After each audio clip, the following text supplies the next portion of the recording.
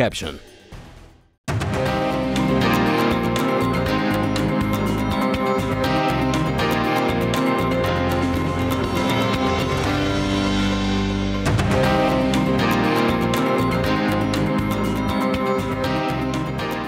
Buenas noches, bienvenidos a nuestro resumen de noticias. Una semana cargada de muchas noticias aquí en Consejo al Día.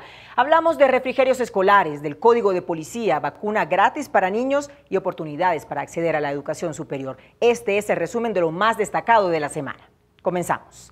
El concejal Antonio Sanguino denunció irregularidades en los refrigerios escolares con alteraciones en las fechas de vencimiento y la personería puso ya la lupa a estos contratos.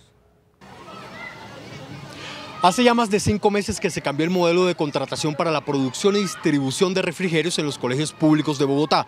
Sin embargo, en este proceso que involucra contratos por más de 400 mil millones de pesos, se siguen evidenciando presuntas irregularidades. Desde que se cambió el modelo de contratación de los refrigerios de Bogotá, porque se fraccionó la contratación, por un lado los proveedores, por otro lado la logística de ensamblaje. El concejal Sanguino expuso pruebas con presuntas irregularidades que involucran a las empresas contratadas para repartir más de 500 mil refrigerios.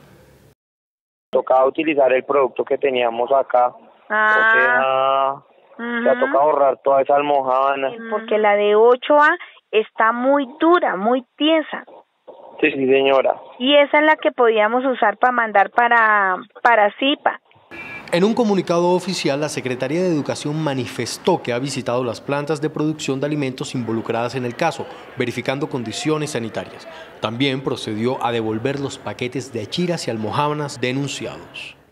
Existe mucha preocupación por parte del concejal José David Castellanos de Cambio Radical por la falta de conocimiento del código de policía por parte de los propios uniformados. La encuesta, que fue realizada en tres localidades de manera aleatoria, dio como resultado que solo un 7% tenía conocimiento de las nuevas normas del Código de Policía. Es decir, un 93% de los agentes encuestados no respondió de la forma correcta. Si los funcionarios y autoridades que hacen velar ese nuevo código no saben el articulado y los procedimientos, puede existir a futuro eh, una violación de derechos para los ciudadanos, pero también una violación de deberes para esas autoridades judiciales. El secretario de Seguridad, Daniel Mejía, afirmó que se hará un énfasis en la capacitación de los agentes en la capital. Estamos implementándolo, pero también es un proceso de aprendizaje. Es un código nuevo, con normatividad nueva, con protocolos nuevos.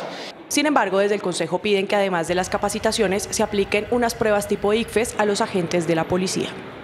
Y esta es una muy buena noticia para Bogotá. La vacuna contra la meningitis ahora será gratis para los niños menores de 5 años. Ya pasó a sanción del alcalde mayor de Bogotá el acuerdo con el que los niños en la capital accederán a la vacuna del meningococo, fundamental para evitar la meningitis. La meningitis es una enfermedad que es muy grave, es letal y desafortunadamente la gente de estratos 5 y 6 se la puede colocar a sus hijos comprándola, pero los niños de estratos bajos no la tienen. En lo que va corrido de este año se han puesto más de 55 mil dosis de vacunas del esquema básico para una cobertura del 54%. Una vez que se adelante ese estudio, se debe solicitar aval al Ministerio de Salud y Protección Social para que efectivamente el biológico ingrese en el programa y se pueda pues, vacunar de acuerdo a la priorización que se realice para el distrito. Una vez el Ministerio avale esta vacuna, beneficiará a los más de 100.000 niños que nacen anualmente en Bogotá.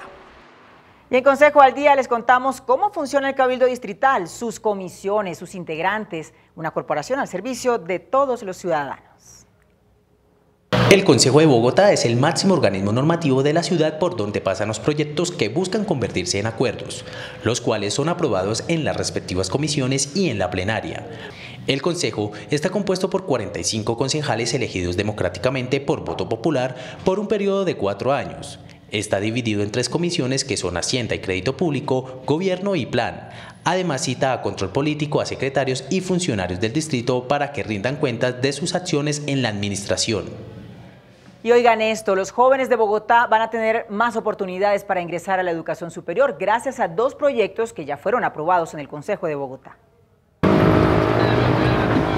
Primero se aprobó el Fondo para la Educación Superior que brindará una beca por máximo 8 millones de pesos semestrales para estudiantes bogotanos de cualquier colegio y estrato. Se vuelve una beca en la medida que cumplan dos condiciones. El primero es que se gradúe y el segundo requisito es que haga una pasantía laboral Los requisitos son ser estudiante de grado 11 o haberse graduado de cualquier colegio de Bogotá, haber realizado las pruebas Saber 11, estar en proceso de ser admitido en cualquier programa reconocido por el Ministerio de Educación y presentarse a la convocatoria, que estará abierta desde el 30 de octubre hasta el 27 de noviembre. El otro proyecto con el que se espera beneficiar inicialmente a más de 5.000 estudiantes es el presentado por el concejal Celio Nieves. Queremos con esta iniciativa llevar la universidad a donde está el estudiante y eso elimina una barrera que es la económica y de esa manera se garantiza la continuidad y se disminuye la deserción. Las localidades en las que se encuentran los 50 megacolegios en los que se arrancaría el proyecto están ubicados en Bosa, Kennedy y Ciudad Bolívar. Así llegamos al final de Consejo al Día. Nos vemos el próximo lunes a las 7 y 20 de la noche en una nueva emisión. Feliz fin de semana.